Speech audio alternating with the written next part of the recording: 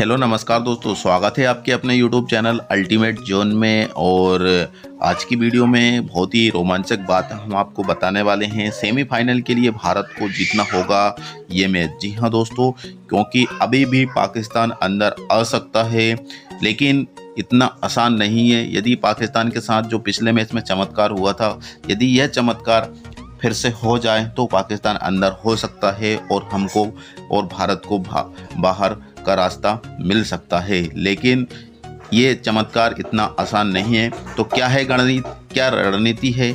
तो आज की वीडियो में हम इस पर डिस्कशन ज़रूर करेंगे। तो दोस्तों, चलते हैं हम आगे की तो सबसे पहले आप देख सकते हैं कि यहाँ पर फ़र्स्ट टू हम ग्रुप ए की बात कर रहे हैं और फ़र्स्ट नंबर पर अभी हैं इंडिया दूसरे पे South Africa Pakistan Bangladesh Zimbabwe और नीदरलैंड तो नीदरलैंड तो एलिमिनेट हो चुकी है, बाहर हो चुकी है डिस्कवालीफाई हो चुकी है, लेकिन अभी बांग्लादेश पाकिस्तान और कहे तो हम पाकिस्तान अभी सेमीफाइनल की रेस में हैं, लेकिन अब जो मैच होने वाले हैं इंडिया का होने वाला है, आपका यहाँ पर देख सकते हैं कि इंडिया का सीधा सीधा जिम्बावे से होगा, इसके बाद साउथ अफ्रीका का नीदरलैंड से होगा और इसके बाद, पाकिस्तान का जो मैच होगा वो बांग्लादेश से होगा।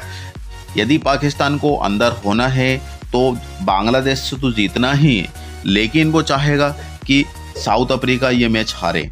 जी हाँ दोस्तों, यदि साउथ अफ्रीका ये मैच हारती है तो फिर पाकिस्तान अंदर हो जाएगा, या फिर एक पाकिस्तान यहाँ पे साउथ अफ्रीका नहीं हारता है तो वो चाहेगा कि इंडिया जो जिम्बावे से हारे। यदि ये चमत्कार उसके साथ हो जाता है तो पाकिस्तान बिल्कुल अंदर हो जाएगा।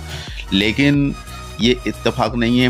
नीदरलैंड जो है इतनी अच्छी टीम नहीं है तो साउथ अफ्रीका इजीली इसको चेस कर सकती है। दूसरा है कि इंडिया अभी अच्छे खासे फॉर्म में चल रही है।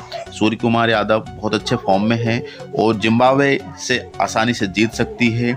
और इसके बाद रही पाकिस्तान से तो बांग्लादेश जीती जाएगी, लेकिन उसके साथ जो दो मैच हैं साउथ अफ्रीका और इंडिया। यदि दोनों में से एक, दो भी मैच हारती है इंडिया या साउथ अफ्रीका तो पाकिस्तान को मौका मिल सकता है, जो कि एक चमत्कार के बराबर माना जाएगा। तो यही रणनीति है, लेकिन हम नहीं चाहेंगे कि पाकिस्तान अंदर आए और हम बाहर जाएँ, ठीक है? यदि साउथ अफ्रीका हारती है तो कोई दिक्कत नहीं है। एक बार फिर से हम इंडिया और पाकिस्तान का मैच होगा, जो कि बहुत रोमांचक होने वाला है, यदि साउथ अफ्रीका हारती है। तो यही रणनीति के अकॉर्डिंग एक मैच और बचा है, सिर्फ़ लास्ट मैच।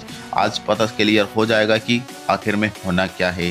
तो दोस्तों, ये टी ट्वेंटी वर्ल्ड कप की अच्छी खबर है। तो दोस्तों, मिलते हैं फिर से नई वीडियो के साथ। जब तक के लिए जय हिंद, जय भारत।